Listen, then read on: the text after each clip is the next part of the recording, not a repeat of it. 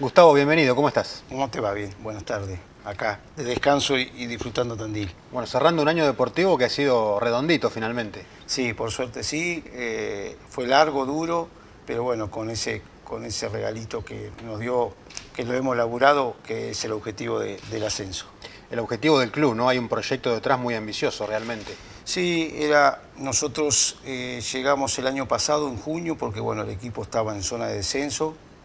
Por suerte nos pudimos salvar, hicimos una buen segunda parte del año, que llegamos tercero, que no, no nos alcanzó para entrar en el reducido, tres puntos, y después, bueno, los dirigentes dieron la posibilidad al Sapo de poder rearmar el equipo, de potenciarlo y para pelear por el, por el ascenso un año en el que fueron consistentes. De hecho, ganaron el torneo de apertura y en el clausura eh, no estuvieron lejos de repetirlo. Sí, eh, la iniciación fue buena, después de, bueno, de una preparación. El equipo se fue desarrollando, fue mejorando, se fue potenciando.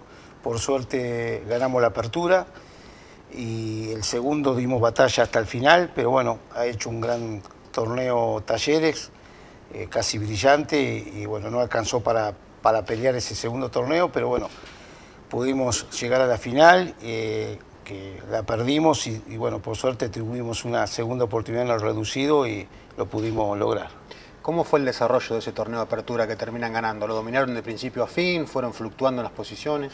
No, no, siempre estábamos eh, eh, primeros. En, una parte quedamos segundo, pero nos encauzamos nuevamente. Teníamos el déficit porque quedábamos libres en la última fecha y justo, bueno, en esa fecha íbamos con cuatro puntos a favor y Comunicaciones tenía que ganar sí o sí y empató en la anteúltima, así que eso nos no hizo coronar eh, campeón de la apertura. Eh, el equipo siempre estuvo competitivo, estuvo, estuvo eh, peleando donde nos tocó jugar y, lo hicimos también en, la segunda rueda. Creo que el equipo en la segunda rueda jugó un poco mejor, un poquito más suelto, se nos escaparon algunos partidos, pero bueno, vuelvo a insistir que lo de Taller ha sido muy meritorio y, lo ganó justamente el, clausura. Eh, ¿Pudieron elaborar un plantel que, con jugadores de características que se acomoden a sus pretensiones o ustedes se acomodaron a lo que proponía el plantel? No, no, tuvo la posibilidad de armar el equipo. Muchas veces eh, uno tiene, siempre tiene tres, tres jugadores por puesto y bueno, apunta a una primera línea, segunda y tercera y a veces no, eh, no se puede lograr traer lo que uno pretende, pero el, casi el 85% es lo que pidió el Sapo. Por eso que los dirigentes han trabajado mucho y estuvieron a la altura y bueno, tenían un gran presupuesto para este tipo de torneo. Eh, así que por suerte el equipo, aparte de ser competitivo, era, tenía recambio, que eso a lo largo te facilita. Y así que teníamos casi 24 25 jugadores que estaban a la par para pelear un lugar y, bueno, y hay momentos del, torneo que lo hemos necesitado casi a todos y han respondido por suerte y, bueno, han mantenido el equipo, como yo siempre digo, competitivo. Hablamos de un San Miguel que se ha fortalecido ya no solamente en cuanto a sus pretensiones deportivas, sino también a nivel institucional, ¿no? Infraestructura y demás. Sí, eh, hay dos chicos, son dos hermanos que son Almada de apellido, son chicos jóvenes. el presidente que ahora asumió tiene 32 años, y el hermano tiene 36. Se hicieron cargo hace tres años del club que estaba en quiebra, han levantado la quiebra, bueno, han podido armar este proyecto deportivo con, lo que es la primera división y han mejorado mucho lo que es la, institución, eh, lo que es la sede, porque bueno, tiene mucha, un club que aparte de tener actividad deportiva, tiene un colegio primario y secundario, y después tiene otra disciplina como natación, básquet, tiene vóley, tiene patín, tiene paleta, pelota paleta, eh, tiene fútbol, sala, bueno, ni que hablar fútbol femenino. Y bueno, tienen categorías que participan en AFA y en la liga también local, que hay una liga interna eh, en San Miguel, así que tiene mucha cantidad de, chicos y chicas participando y ha mejorado mucho la institución en los socios. Casi hoy están cerca de los 40.000 socios que seguramente que con este ascenso eh, que ha generado eh, eh, el, equipo van a traer más socios. tienen con Gustavo Colioni un pasado reciente en Primera División. ¿Fue sencillo tomar la decisión de bajar un par de categorías o les costó, la pensaron? Gustavo siempre bueno, esperábamos Primera División, lamentablemente no se pudo, no nos pudimos insertar. Eh, después las propuestas de B Nacional no, no, no han sido eh, de su gusto. Eh, hubo tres o cuatro que lo han llamado, entonces esperó la primera y bueno, en el caso de estos chicos lo han llamado como siete, ocho veces, le han insistido. le costó tomar la decisión porque bueno, era una categoría que no conocíamos, era un equipo que no estaba bien y tuvimos que, bueno, aprender cómo era la categoría, saber cómo era el club, eh, bueno, con el plantel que nos contá, que, contábamos, bueno, al final los, sedujeron y, encaramos esto como trabajando en primera, o sea, con la misma dedicación, con la misma responsabilidad, con la misma pasión. Y, por suerte, bueno, eh, después de un año, casi ocho meses, hoy nos encontramos con, estando jugando en la segunda categoría, o sea que fue algo que costó, eh, fue duro, eh, pero disfrutamos el día a día porque, bueno, también teníamos, sinceramente, para lo que era la categoría, todas las comodidades para, para poder desarrollarnos, para poder entrenar y, también contar con jugadores que eh, en los momentos difíciles te resuelven situaciones. Se ven en la primera vez partidos cerrados, mucho 0 a 0. Imagino que la eficacia juega un papel preponderante a la hora de, hacer un gol y después cerrarlo. Sí, nosotros en principio el equipo tenía que ser duro. Cuando digo duro, con un equipo eh, con, estructura, que, defienda bien. Y después, bueno, eh, trabajar la parte ofensiva, donde que el equipo esté suelto. Yo creo que nos costó mucho la apertura, porque bueno, las obligaciones, todo el mundo sabía que nos habíamos preparado para, ascender. Por suerte pudimos lograr esa apertura y, y ya el equipo jugó mejor de mitad de año para adelante. Un equipo que creaba muchas situaciones, quizás se nos escaparon partidos, pero bueno, eh, el equipo ya, ya tenía la idea de juego desarrollada eh, y, como es, y después entró la otra etapa, que lamentablemente en la etapa cuando nosotros perdemos la final, porque estábamos mucho, muy ilusionados, además definíamos de local, había mucha expectativa, fue un, gran masazo, nos tuvimos que reacomodar después de ese bife, de regenerarnos rápido para, encarar lo que venía y por suerte los chicos tuvieron el carácter y la personalidad para, para afrontar, nosotros apuntalando, estando tranquilos para, para, bueno, pelear el segundo ascenso. Quizá el equipo, lo hablamos antes con vos, le, costó jugar en esa etapa, se hace muy cerrado los partidos, el rival también juega, te estudia. Eh, había rivales que no se habían preparado para llegar a la final y se encuentran en un reducido y bueno, después también se potencian y, trabajan a la par que lo hacíamos nosotros. Así quizá no tienen la presión de, y no tenía, por todo. Exactamente, encontramos un armenio, en el primer cruce un armenio muy juvenil, un equipo que se encontró, trabajó para llegar reducido, pero bueno, sin esas obligaciones. Nosotros lo hicimos muy bien de visitante, nos costó de local, lo pudimos sacar adelante. Y después Argentino de Quilmes, que hizo un gran torneo, no esperaba estar en ese lugar también. Eh, un equipo que cuando llegas a, esa, instancia se potencian, nos peleó de igual a igual, tuvimos que ir a penales, por suerte estuvimos, estuvimos eh, finos y ni que hablar el arquero. Y bueno, ya después con Douglas fue un partido también duro, tuvo un gran momento Douglas al principio, después nosotros equiparamos, creo que el segundo tiempo lo jugamos un poco mejor, desde el protagonismo, no, no agrediendo al rival. Eh, eh, y después, bueno, no pudimos eh, reflejar eso en el arco y llegamos a los penales y gracias a Dios nuevamente estuvimos más, más lúcidos que el rival y, el arquero también cumplió un papel importante. ¿Cuántas fechas le llevó como cuerpo técnico acomodarse a la categoría y en qué momento sintieron que el equipo empezó a jugar a lo que ustedes querían? Y casi nos llevó un mes, un mes y medio, un mes y medio. El primer equipo que, tuvimos era un equipo muy grande en edad, promedio de edad, era un equipo que le costaba la intensidad, sí, era un equipo que jugaba bien, pero no sostenía el ritmo, así que de a, poco, de a poquito lo tuvimos que ir acomodando a lo que nosotros pretendíamos para jugar en la categoría. No le sacamos lo que tenía, que era jugar, pero sí le agregamos esa, agresividad, hablamos de agresividad de que el equipo todos corran para recuperar, que estén ordenados eh, eh, y esté solidario y una vez que logramos eso, ya el equipo empezó a sacar puntos, que era lo, principal. Y después ya, creo que la última etapa, de, estaba hablando el año pasado, fue donde mejor jugó, que nos faltó muy poco para meternos al reducido, que siempre hablábamos con el sapo, si nos metíamos el reducido, que era por la ventana, porque era el último lugar, íbamos a dar pelea porque teníamos gente también con, mucha experiencia eh, eh, en el equipo que en esos momentos importantes se pone la, yo digo, la, pilcha para ser campeón.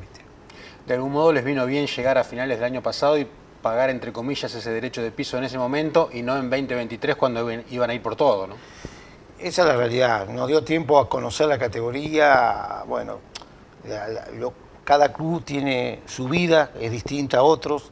Eh, conocer el plantel, nosotros, una vez que conocimos el plantel, bueno, ahí decidimos quién, quién, quién pueda aportar para lo que venía, porque bueno, en ese momento la obligación era no descender y ya el, año, si el Sapo renovaba, era para, para pegar el salto de calidad y, ir a la otra categoría, así que hay que elegir bien, no hay que equivocarse.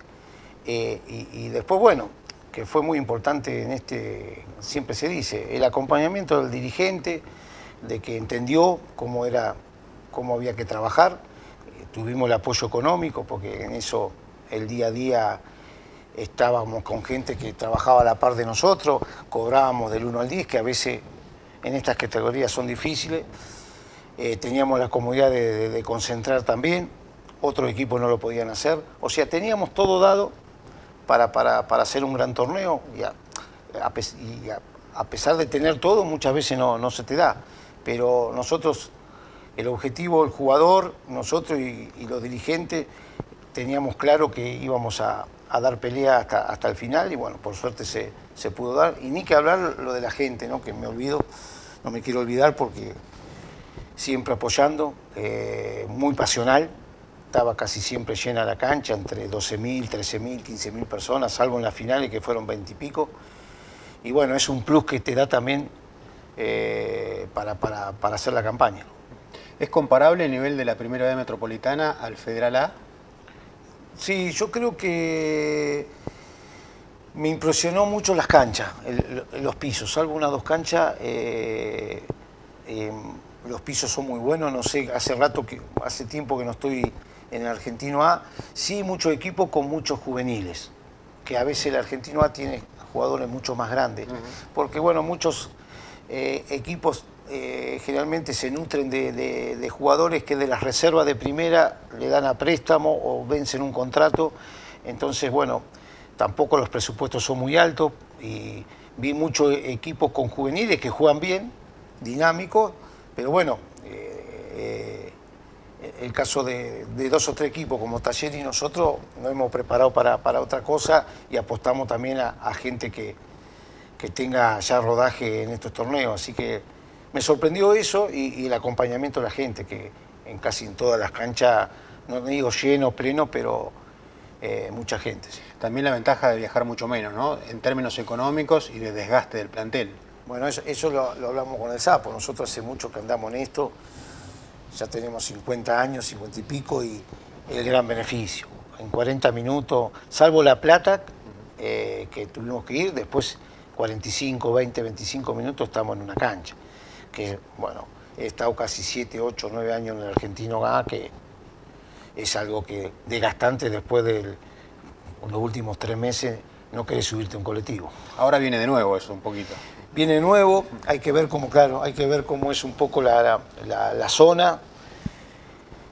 En, algunos viajes no sé cómo estará el club, cómo se va a preparar, porque bueno, en avión lo veo difícil este año, creo, ojalá, pero bueno, sí, ya lo que es la preparación para los partidos es distinta, porque bueno, seguramente serán dos zonas y, veremos en qué zona. Hay muchos de Buenos Aires, que es una ventaja, pero bueno, vamos seguramente vamos a tener que viajar, así que eh, veremos también cómo arma el presupuesto del club, que se tiene que acomodar a esta nueva, a esta nueva, a este nuevo torneo, a este nuevo formato. ¿Ves una pretensión de pegar el salto a primera o afianzarse un par de temporadas en la primera nacional? ¿De parte del club, de la dirigencia? Y los chicos que están a cargo, el presidente va por todo. Cuando terminó y dice, el otro salto es a primera. Pero bueno, nosotros también sabemos, y hace rato que estamos en esto, que no es fácil. Me parece que el primer paso es afianzarnos eh, en lo que es B Nacional.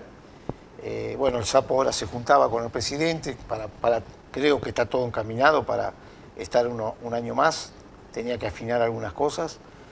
Pero bueno, vamos a un equipo competitivo. Eh, vamos a estar peleando, uno se propone estar peleando entre los 12 equipos, 15 o el reducido.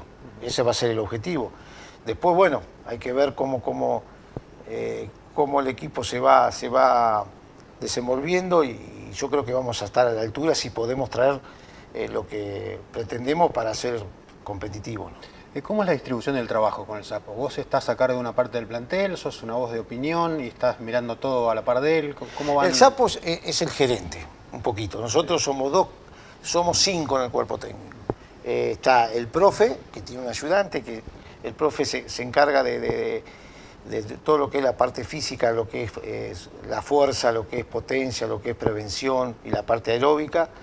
Después tenemos eh, el entrenador de arquero, que trabaja aparte y nosotros con Beto, que es el, otro táctico que es de Rosario, él se trabaja la parte de, equipo, de once, de lo que es contra el rival, eh, el rival que nos toca de turno, y yo me hago más la parte específica de, o trabajo por línea o trabajamos específicamente por puesto, entonces yo me encargo un poquito de o trabajar con los delanteros, trabajar con los medios o con los defensores o las dos líneas divididas o a veces el sistema que vamos a emplear, porque a veces el sistema de juego íbamos, generalmente jugábamos 3-4-3, eh, que bueno, defensivamente es un 5-4-1, y muchas veces jugamos 4-4-2, entonces según la semana acomodábamos los trabajos de acuerdo al sistema que jugábamos, yo me encargo un poco de eso, y después está el videoanalista, que, que es un poco eh, el que ve los rivales, damos una información al jugador de, del, próximo rival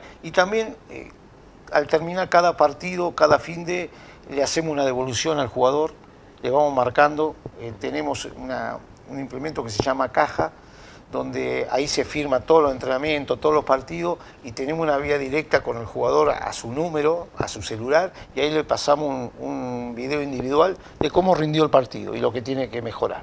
Después se hace las charlas individuales, ¿no? Con el jugador, que eso lo hace el sapo. Post partido el sapo camina, habla con un jugador, lo hace un poco grupal. Y el sapo es el que dice, bueno, quiero laburar esto, entonces nosotros le armamos el laburo y él da el ok y después la, palabra autorizada para corregir y entra y sale, ¿no? Entra y sale en los laburos, pero es un poco el que mira de ahí y bueno, después el que da la charla en los partidos, el que reta al jugador. Pero reta quiero decir corrige, ¿no? Pero bueno, hace casi ya, con el Sapo hace 6, 7 años, con Beto hace 3 años que estamos, con el profe 4 o 5 años, ya medio, ya con las miradas no, ya vamos, vamos viendo eh, el día a día los trabajos y si hay que corregir algo, porque generalmente antes se, armaba toda la semana y hoy se entrena, termina el entreno y una vez terminado analizamos un poco cuando terminó el entreno y ya armamos lo que queremos hacer al otro día. Así que estamos una hora y media más, dos, después del entrenamiento para, para diagramar y a veces, bueno, uno planifica y tiene que ir variando porque un, laburo que ha preparado no ha salido bien, pensamos una cosa y bueno, en ese momento también hay que tener el ojo y la inteligencia para modificar. ¿Dónde necesita reforzarse San Miguel para ratificar sus pretensiones en la Primera Nacional? Mirá, eh, ahí hablábamos de que nosotros hay que traer, si vamos a pelear entre 12 jugadores, 10, 12 jugadores, sobre todo mitad para arriba. Nosotros nos costó mucho la, segunda parte y las finales. Y bueno, seguramente si se pone de acuerdo con el presidente, ahí va a estar el saber elegir y potenciar el plantel. Yo creo que de mitad para atrás el equipo rindió, estuvo fuerte. Igualmente siempre hay que traer para renovar y potenciar a competir el puesto pero me parece que eh, la lógica sería, y si está el presupuesto, eh, traer en esos puestos, sobre todo en mitad para arriba, que son esos jugadores que desequilibran, que bueno, con una jugada te pueden hacer un gol y, que entiendan el juego, que a veces no, es fácil. Y también retener a los que te dieron resultados importantes. No, sí, sí, nosotros hay 12 jugadores que tenemos en cabeza, después se verá uno o dos más, porque eso también... Eh, el, presidente participa, es el que pone la plata, o sea, el presupuesto y seguramente el sapo es el que tiene la voz, pero bueno, también hay que saber uno que eh, el club tiene objetivos, también hay chicos del club, nosotros tenemos dos o tres que hay que potenciar, veremos eh, lo que dicen porque también nos acomodamos a, los objetivos del club. ¿Cuántas veces lo llamó Santa Marina en los últimos años? Cuando Ceja renuncia, eh, Pablo lo llama, justo estábamos sin club y como es, eh, a ver si quería estar, Pablo, creo que Gustavo le dijo, bueno, dice, ¿cómo, cómo, cómo sería la negociación? Y después se armó, creo que hay un lío entre Pablo y la presidenta que decidieron traer a Mariano González y a Barzotín. Entonces Pablo ahí hizo un paso acostado, le avisó el Chapo, mira, tuvimos un inconveniente eh, por temas presupuestarios, que en, realidad nunca se habló la plata, ¿no? Pero entonces han decidido en ese, que era pocos días, eh, creo que la presidenta habló con, Mariano González y con Pucho y decidieron, decidieron bueno, asumir. Sí quedó una buena relación de parte de ustedes con el club. Sí, soy hincha, eh, yo soy hincha, en el caso ahora que está el Chopi siempre nos hablamos, hablamos de fútbol, hablamos de jugadores, en el caso del Chopi lo llamé porque enfrentó a Douglas, nos dio información de Douglas, tenemos una con los dirigentes también, siempre nos pregunta por algún jugador para reforzar Santa Marina. Con Gustavo hemos ido, bueno, no nos tocó en el Argentino A, pero en B Nacional hemos ido a ver partidos cuando estaban en la B Nacional. Estamos siempre siguiendo de cerca y, siempre queremos lo mejor. O sea, es un club que hemos, la hemos, hemos disfrutado, hemos tenido un año hermoso con el Sapo, dos años, y, es algo que un grupo además de jugadores bárbaros, ¿no? que también la gente acompañó en esa etapa. Así que los mejores recuerdos. Y, siempre con Pablo Bocio algún, nos felicitó, nos mandó un mensaje, gente, bueno, el caso de Luis, Alejandro Saurel, eh, el caso de Martín Michi nos mandó saludos, así que siempre estamos en contacto. Gustavo, muchas gracias y lo mejor para 2024. ¿eh? Bueno, gracias, gracias a vos.